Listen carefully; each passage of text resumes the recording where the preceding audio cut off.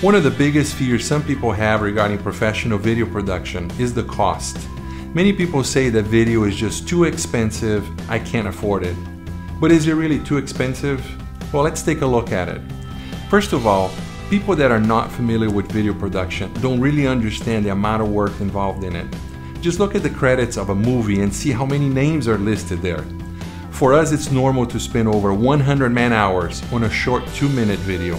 There's time spent on research, concept development, production planning, hiring and organizing crew, directing talent, camera and audio recording, lighting design, video and audio editing, video color correction and grading, graphics, and music design. So it's natural that any creative project involving a lot of hours and using high-end technology will cost money. Another point is this, when people say video production is too expensive, my question is, Compared to what? To hiring a photographer? Or compared to the cost of a wedding video? Or maybe compared to print advertising? It's also important to consider what problems are your videos going to solve.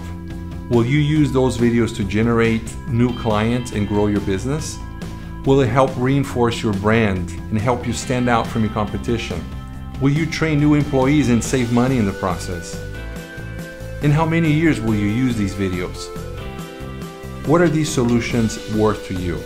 The cost of your video project should be proportional to the quality of work being delivered and the problems it will help solve. To view more tip videos or to check some of our sample work, visit us at briosmedia.com. I'm Paulo Simões, and I'll see you next time.